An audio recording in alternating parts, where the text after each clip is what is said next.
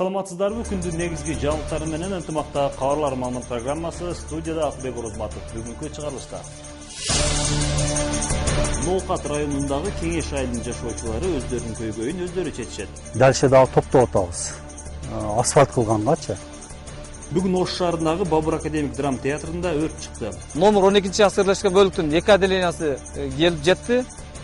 Баткен районунун таш тумшук айылында толук оңдолгон милиция бөлүмчөсү пайдаланууга берилди заманбап ушул айылдык милиция бөлүмчөсү ачылды деп айтсам жаңылышпайм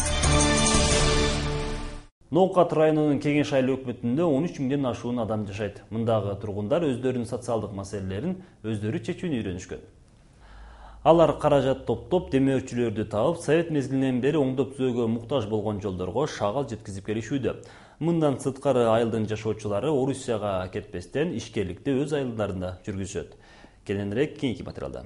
Эки миң алты жүздөй түтүн жашаган кеңеш айыл өкмөтүндө беш айыл бар. Алардын бири беш миңден ашуун калкы болгон кул майдан айылы айыл тургундары көп жылдан бери чечилбей келе жаткан борбордук жолун өкмөттөн жардам күтпөй өздөрү оңдоп түзөөдөн өткөрүүнү башташкан. Ал үчүн айыл жашоочулары колунан келген каражаттарды топтошкон. Мындан сырткары айрым депутаттар тарабынан техникалык жардам көрсөтүлгөн. Алтымышынчы жылкылардан токсонунчу жылга чейин отуз поколениянын балдарын э, фонд түздүк. Акча топтоп баардыгы макул болушту. Аксакалдар балдар жаштар. Э, беш жүз машинедей шагал төктүк шагал төгүп э, ушу жолду тегиздедик. беш жүз алты жүз миңдей акча кетти. Эми калганын дагы дальше дагы топтоп атабыз. Асфальт кылгангачы айыл тургундары чет өлкөгө барып иштегендин ордуна өз жеринде иштешти макул көрүшөт. Кул майдандык жетимиш жаштагы карамат султанова ардактуу эсалга чыккандан кийин үй бүлөсүнө көмөк көрсөтүү максатында үйүндө үндүк багат. Бир жылда жүздөн ашуун үндүк багып облустун түрдүү райондоруна сатып келет. Ага жыйырма жыл болду дейт эне бир сезондо өзүбүздүн союп жеген андай мындайлардан тышкары элүү алтымыш миң киришет эгерде баардыгын сатсаң ондо өтө эле көп көп болот. Жүз миң дагы болуп кетет. Э, бул жерде бала чака экиден экиден балдардын день рождениясында экиден соебуз кыздарды чакырабыз баягы индук бакты эле апам десе анан бала чакасы менен э, майрамдарда соебуз балдарымдын дос жарлары келет ошондо союшат ошентип тирилик кылып атабыз эми айылда айрым ишкерлер болсо асыл тукум. Букаларды багып өз айылын эмес ноокат районун эт менен камсыз кылууга салымын кошуп келүүдө. Алар породалуу чарбаны чет элден эмес бишкек шаарынан алып келишкен. Алатойский порода жашы эки жаштагунун. Булар төрт жүз килограммдан жети жүз килограммга чейин эт берет. Бишкектен фермерлер менен байланышып ошолор менен алака кылабыз элдин малдарына осемненияга коебуз породалаштырганга ошол багыттын негизинен эт багытында малдарды багабыз. Ушуп жетилгенин немеге этке союп өткөзүп беребиз. Кул майдандын жашоочулары айылдаштарына түрдүү социалдык кызмат көрсөтүүчү жайларды да түзүп беришкен. Мисалы эки ишкер суусу жок аймакка бассейн курган. Бул жерде беш жашка чейинки балдар акысыз чөмүлүшөт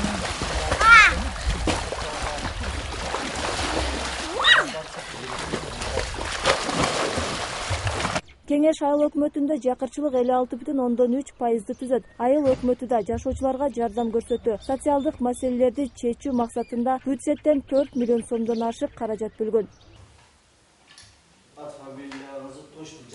Негизи ушу будай менен алектенип элдер кайракка да сууга будай аз будайлардын түшүмү жакшы. Бизде негизи чарбачылыкта ушу климаттык абалга жараша картошка жана жүгөрүлөрдү өстүрөбүз.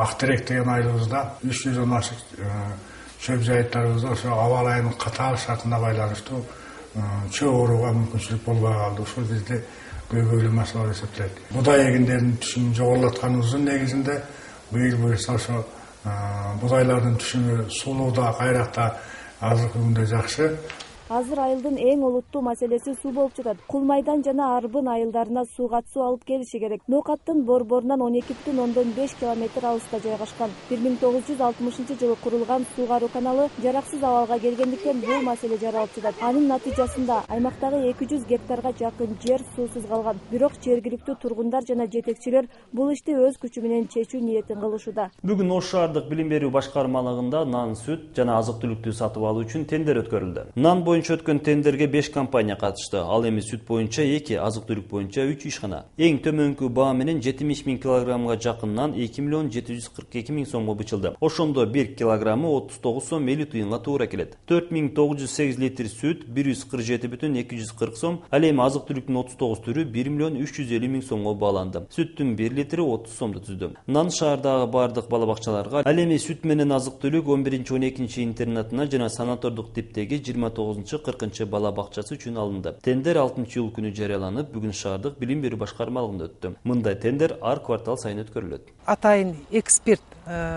көз карандысыз эксперт катышты. Бул боюнча тендерде бардық тендерге қатышқандардың пакеттері тийиштүү документтери баардыгы толугу менен болду комиссия карады жыйынтыгын дагы комиссиянын катышуусунда чыгарабыз. Бул жерде ушу катышуучулар дагы эч кандай нааразычылык болгон жок баардыгы объективдүү болду. Кечээ түшкү саат он төрттөр чамасында жалал абад шаарындагы перол токтогул көчөсүндө күтүүсүз жерден өрт чыккан. Ал жердин үй башчысы өртөөчү кызматкерлерин чакырып жанындагы үйлөрдүн өрт каптоосун алдын алган кароосуз калган жерге сел саяктар келип жашашат. Бирок өрт кантип чыккан азырынча белгисиз. Теманы аймактык кабарчыбыз талгат бакиев улантат назира мамытова номер биринчи кондомиумдун төрайымы анын айтымында микс кафесинин арка жагындагы жер толугу менен көзөмөлдөнбөгөндүктөн ар кандай көчө адамдары баш калкалоочу жайына айлана баштады таштандылар тазаланбаганынан андан бул жайдын жылына эки ирет өрт чыккан бирок жер тилкеси шаардагы орду чоң бизнесменге тиешелүү болсо да кабар алып койбойт деген оюн ортого салды. Бирок ушул жерге чейин мынакей көрүп атасыңар могул жерлердин акыбалын көрүп турасыңар бул жерде менин жерим деп эч кандай чечилбей келет. Биз арыз жазып атабыз. Бирок э, туманов э, өзүнүн тааныштары аркылуу ушул жерди бербей келет. Мынакей бул жерде дайыма бомждордун э, эмеси уюгуна чогулушуна айланган ушул жерде дайыма бомждор болот разложение труп да болуп кеткен. Бирок эч кандай бийлик да чечпей атат. Мына көрүп атасыңар азыр өзүңөр күбө болдуңар? Мынакей пожарныйда жылына менин актым бар жылына мен чакырам мен өчүртөм бирок туманов бул жерге келбейт. Жыйырма бешинчи июнда чыккан жалын аталган көчөдөгү үйлөргө от тутанып кетпеш үчүн өрт өчүрүү кызматкерлерин убагында чакырып жетишкен. Ыкчам иштеген кызматкерлер кырсыктын алдын алды. Биз күзөтүп убагында турганыбызда бизге телефон түштү. Ушул жерде микстин аркасында домдордун артында кургак чөп күйүп атат деп. Анан бир аял телефон кылган экен келсек өрт болуп аткан экен. Көрдүңөр өз көзүңөр менен биз өз убагында келип өрттү өчүрдүк.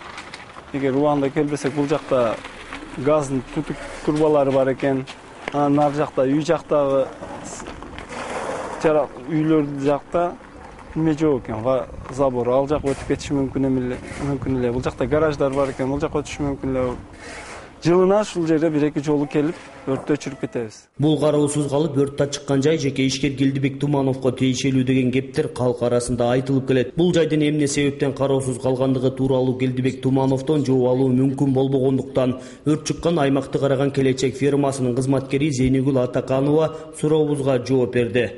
Сатып алганы беле болобу союз мезгилинде сатып алынган анын жерди акчасын беришкен анан могул жарым жагын кандайча берилгенин билбейм кызым. Анын документтери эми ал кишиде турушу мүмкүн. Кандай болгонун билбейт экенмин бирок бул территорияны көбүнчө биз карачубуз территорияны жазган маалдагы ушинтип карайбыз деп биз эмелерди рабочийлерди алып келип караганда он бештей аялды чакырып келип алып аябай тумановду айтпаган сөздөрдү айтып оскорбление кылып өлүңдү көрөйүн ушул жер сагын жениң көрүң айланып калсын деп бизге эчтеке кылдырбай койгон да. Анан мейли өзүңөр карап ала бергиле деп туруп анан кетип калган ал киши. Ал эми перло токтогул көчөсүнүн жашоочусу жогоруда жылына эки жолу өрт чыгат деген сөздөрдү төгүнгө чыгарды. Себеби кошуналардан да арыздануулар болгон эмес. Батчан давно алган экен туманов. Тумановдун жери өзү кандай кылат эмне кылат эми өзү билет да. Эми бир жылда эки жолу өрттөн өтпеген ал туура эмес мурдагы жылы бир ушинтип күйдү ошондо күйгөндө пожарныйлар да билет да келишти кимин жери дедилер тумановдуку тумановго баргыла туманов билет деди анан өткөндө туманов бир уборка кылдырайын деп келди уборка кылдырайын деп келсе мына назира вообще кылдырбай койду буга чейин эски ун комбинаттын жанында жайгашкан кароосуз калган имараттан бешинчи класста окуган жаш кыз кулап өмүрү кыйылган талгат бакиев казыбек курманбеков ынтымак жалал абад облусу бүгүн ош шаарындагы бабур академикалык драм театрында да өрт чыкты тилсиз жооп катталган учурда залдын ичинде көрөрмандар болгон натыйжада бир канча адам жараат алышкан бирок бул жөн гана машыгуу болчу. Машыгуунун жүрүшү назгүл ахунованын материалында. Машыгуунун сценарийи боюнча калаадагы бабур драма театрынын чоң залынан өрт чыкты залдын ичинде көрөрмандар бар. Арасында эс учун жоготкон жабырлануучулар да жок эмес. Окуя боюнча билдирүү саат он ноль нолдо түштү. Андан соң өрт өчүрүүчү кызматтар жетип келди. Машыгуунун шартына ылайык өрт тезинен өчүрүлүүсү керек. Жана ошол эле учурда жабырлануучуларды да куткарып чыгуу абзел. Ал үчүн өзгөчө кырдаалдар министрлигинин куткаруу кызматы да тартылган. Куткаруучулар эки жабырлануучуну алып чыгышты. Бири залдын ичинен. Экинчиси өрттөн качып экинчи кабатка чыкканда эс учун жоготкон жаран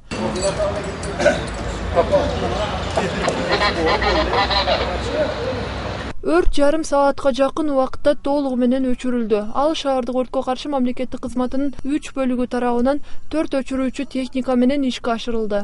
Ондон эки минутта өткөндө номер он экинчи аскерлешкен бөлүктүн эки отделениясы э, келип жетти. Ошол абалга жараша номер он үчүнчү аскерлешкен бөлүктү жана сексен бешинчи бөлүктү кошумча күчкө чакырылды. Ал бөлүктөр ондон жети мүнөт өткөндө он үчүнчү бөлүктүн эки отделениясы келди ондон тогуз мүнөт өткөндө номер сексен бешинчи кесиптешкен бөлүктүн биринчи отделениясы келди мындай тактикалык машыгуу ар квартал сайын өткөрүлөт ушул жылдын ичинен бул үчүнчүсү бабур театрында көп жылдан бери өткөрүлбөгөндүктөн планга киргизилген машыгуунун негизги максаты өздүк курамдын ыкчамдыгын өнүктүрүү максатында өткөрүп жатабыз андан тышкары биздин машыгууга куткаруу кызматы куткаруу кызматы дагы келди тез жардам кызматы дагы келип общий катышып жатышат жай мезгилинде өрт кырсыгы көп катталат андан улам машыгуудан кийин өрткө каршы башкармалыгы шаар аймагын кыдырып жайкы өрт мезгилине карата үгүт иштерин жүргүзүштү максаты өрттү алдын алуу боюнча элге түшүндүрүү иштерин жүргүзүү азыр алдына биздин жеңил машинаны өрт өчүрүүчү жеңил машинанын алдына коюп алып аркасына мындай плакат менен ушу элдин арасында громко катуу үн чыккан громкоговоритель менен элдин арасында үгүт насаат иштерин жүргүзүп жүрөбүз да баягы могу жайкы өрт коопсуздук мезгилинде кандай эрежелерди сакташ керек үйдөгү үйдө кандай эрежелерди сакташ керек ошол боюнча элдин арасында көчө көчөлөрдү кыдырып ошентип уккан адамдарга айтып жүрөбүз мындай үгүт иштери көбүн эсе кыш жана жай мезгилинде өткөрүлүп турат. Эске сала кетсек жыл башынан бери ош шаарында алтымыш тогуз өрт кырсыгы катталып жети миллионго жакын материалдык чыгым болгон. Назгүл ахуонова азан бузриков ынтымак. Жыйырма алтынчы июнь күнү ноокат районундагы кул майдан айыл башкаруусу коомдук уюму өзүнүн иш тажрыйбасын республиканын ысык көл талас нарын жана баткен районунан келген өкүлдөргө үйрөтүштү меймандарга айыл өкмөт жетекчилери жана активисттери башкаруу иштерин кандай алып баруу керек? Чечим кабыл алуу жараяндарына жашоочуларды катыштыруу жолдору. Бюджеттин ачык айкын алып барылышы керектиги тууралуу маалымат берилди. Кул майдан айыл башкаруусу коомдук фонду бириккен улуттар уюмунун өнүктүрүү программасы тарабынан түзүлгөн. Бул уюмга ыктыярчы адамдар гана тартылып алар акысыз иштешет. Мындай коомдук уюмдар кыргызстандын ар бир айылында түзүлүшү мүмкүн. Көпчүлүк эле айыл өкмөттөрдү азыр бюджеттерин эл билбейт да канча сому бар каяка кетип атат эмне иш жасап атат эч ким билбейт а буну бизде бюджеттик угуулар өткөрүлөт тез тезчи өкмөттүн бир тыйынынан өдө эсептелип элге угузулат да анан жанагы бюджетти биз бекиткен учурда мына айылдык башкаруудан биринчи өзүбүз айылдардан изилдеп проблемаларды топтоп анан кайсынысын өкмөттүн бюджетине беребиз кайсынысын инвесторлордон алабыз кайсынысын бизнесмендерден алабыз эл өзү эмне жасайт ушунун баардыгын аныктайбыз да анан сессияда бекитип атканда сунуштайбыз да. Ушу биздин сунушубуздун негизинде биз даже токтомдорубузду жазып мына мына э, немелерге иш чараларга мынанча сом акча бөлүп деп бизнес проект долбоорлорду сунуштайбыз да. Баткен районунун таш тумшук айылында бириккен улуттар уюмунун жардамы менен кайрадан толук оңдоп түзөөдөн өткөн милиция бөлүмчөсү пайдаланууга берилди айыл кошуна тажик айылдарына өтө тыгыз жайланышкандыктан милиция кызматкерлеринин дайыма аймакта болуусу зарылчылык жараткан. Азырынча милиция бөлүмчөсүндө жети гана кызматкер иштейт. Ачылуу аземинен аймактык кабарчыбыз медербек ниязалиев айтып берет. Таш тумшук аймактык милиция бөлүмчөсүнүн нөмөрчүсү милиция капитан жолдошев угуп атам сизди кайсыл жерде акыркы мезгилде кыргыз тажик чегинде келишпестиктердин көп болуусу аймакта милиция кызматкерлеринин санын көбөйтүп туруктуу иштөөсүн шарттады. Баткен район борборунан алыс. Тажик айылдарынын арасында жайгашкан таш тумшук айылында кайрадан толук оңдолгон милиция бөлүмчөсү ачылды. Баардыгын анализдеп чыгып бизге акыркы убактардагы бул чек арадагы чыр чатактар ошондой эле көптөгөн социалдык экономикалык немеле суроолор дагы талаптар дагы элдерки чечилбегенине байланыштуу жер жерлерде ошо өздүк кырам кайсыл гана учур болбосун. Күнү түнү болобу элдин арыз даттануу кайрылууларын өз убагында так жана акыйкат чечим чыгаруу үчүн биз ошолорго шарт түзүндү иштеп мына бүгүнкү күнү өзүңүздөр көрдүңөр азыркы учурга жараша заманбап ушул айылдык милиция бөлүмчөсү ачылды деп айтсам жаңылышпайм жакшылык болсун жакшылык элге кызмат кылган болсун таш тумшук айылындагы милиция бөлүмчөсү бириккен улуттар уюмунун баңги заттары жана кылмыштуулук боюнча башкармалыгынын жардамы астында бүткөрүлдү курулуштун жана берилген жабдуулардын жалпы суммасы эки миллион сомдон ашуун бөлүмчөдө кызматкерлердин иштөөсүнө толук шарт түзүлүп видео көзөмөл да орнотулган биз только эле эл үчүн кызмат кылып иштешибизге калды башка баардык нерсе камсыз болду. Өлкө эгемендүүлүк алган жылдардан тарта таш тумшук айылынан бир канча турак үйлөр жана үч гектар жер аянты кошуна тажик жарандарына сатылып кеткен. Айылда буга чейин сексенден ашуун түтүн эл жашаган болсо учурда анын тең жарымы калган. Негизи биздин айылда жашоо өтө кыйын. Себеби дегенде биз мына коңшулаш башка улуттун элдери менен жашап атабыз. Ошон үчүн э, бизге ушул э, мекеменин курулганы эң пайдалуу деп эсептеймин. Биз ушу бир жылдан бери ушул э, өтө оор немеде кырдаалда жашап жатабыз. Ачылуу аземинин жүрүшүндө толук оңдолгон айылдык милиция бөлүмчөсүн ички иштер министрлигине өткөрүп берүү жөнүндө документке кол коюлду. Медер ниязалиев ырысбек мазаит уулу ынтымак баткен облусу азыр болсо кезекти кесиптешими узатам ал эл аралык жаңылыктар менен тааныштырат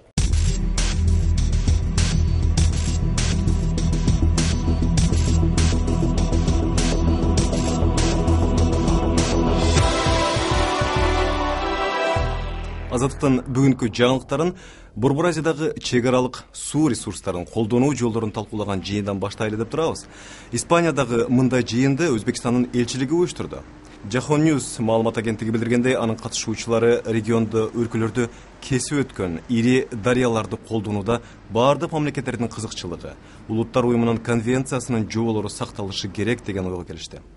Өзбекстан бир канча ирет кыргызстанда жана тажикстанда ири гэстердин курулушуна каршылык билдирип бул аймакта суу тартычтыгын жаратат деп билдирген. Ал арада өзбекстанда шекерге баа кайрадан көтөрүлдү апрелден бери анын баасы эки эсеге өсүп азыр бир килограмм шекер эки доллардан сатылып атат базарларда шекерди э, мурдагы баа менен саткан жерлер деле бар. Бирок ал жактарда кезекке тургандар көп. Ошондуктан соодагерлер бир адамга беш килограммдан ашык шекер сатпоону чечишкен бийлик азырынча кымбаттоонун себебин түшүндүрө жай мезгилинде кыям жана башка кышкы таттуу азыктарды даярдап алыш үчүн өтө керек болгон шекердин кымбатташы элди бир топ эле түйшөлткөнү байкалууда. Ооганстандын борбору кабулда кыз келиндердин коомдук уюму аялдардын кризистик борборлору үчүн атайын эрежелер топтомун сунушташты. Басылма ооган кризистик борборлорунун бирикмеси жана аялдардын иштери боюнча министрлик тарабынан даярдалды. Анын башкы максаты зордук зомбулукка кабылган аялдарга өлкө боюнча бирдиктүү жардам көрсөтүү. Ашкабадта болсо кайрадан курдурулган көз карандысыздыктын он беш жылдыгына соода борбору кардарларга эшигин ачты аны карапайым элде дүң базар деп атап коюшат. Заманбап жаңы үч кабаттуу имаратта жетимиш миң чарчы метрге түрдүү дүкөндөр кафе ресторандар дарыкана жана машине жайлары жайгаштырылган бийликтер азыр жергиликтүү ишкерлер тарабынан анда соода кылууга кызыгуу күч экендигин айтышканы менен борбордун өзүндө кардарлардын агымы көп деле байкалбайт.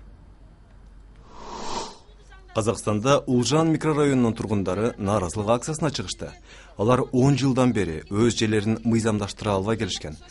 Жакында алматынын ала тау районунун акимчилиги бул тургундардын үйлөрүн түртүүгө чечим чыгарып кара суу айылынан жер тилкелерин сунуштаган болчу. Бирок акциянын катышуучулары ал айылда свет суу жана жол жок экендигин айтышып бул сунуштан баш тартышууда. Анын ордуна алар акимчиликтен акчалай компенсация төлөп беришин талап кылышты. Бүгүн тажикстандын борборунда токсон жаш түгөйдүн массалык үйлөнүү үлпөтү жана аз камсыз болгон үй бүлөлөрдөн үч жүз алтымыш баланы сүннөткө отургузуу тою болуп өттү ири той дүйшөмбүнүн мэриясы тарабынан каржыланып ага президент эмомали рахмон катышты иш чара тажикстандагы беш жылга созулган жарандык согуштун аяктаган күнү же өлкөнүн улуттук биримдик майрамында уюшулду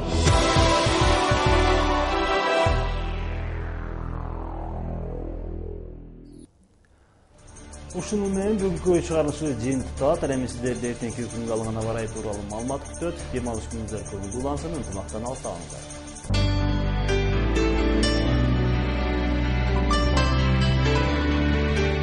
кыргыз гидрометинин билдирүүсү боюнча жыйырма сегизинчи июнда баткен областында түнкүсүн он жети жыйырма эки күндүзү жыйырма үч жыйырма сегиз градус жылуу болот. Ош областында түнкүсүн он сегиз жыйырма үч күндүзү отуз үч отуз сегиз градус жылуу болот. Жалал абад областында түнкүсүн он сегиз жыйырма үч күндүзү отуз үч отуз сегиз градус жылуу болот. Нарын областында түнкүсүн тогуз он төрт күндүзү жыйырма алты отуз бир градус жылуу. Талас областында түнкүсүн он беш жыйырма күндүзү отуз эки отуз жети градус жылуу ысык көл областында түнкүсүн он бир он алты күндүзү жыйырма үч жыйырма сегиз градус жылуу болот. Чүй областында түнкүсүн он тогуз жыйырма төрт күндүзү отуз үч отуз сегиз градус жылуу болот.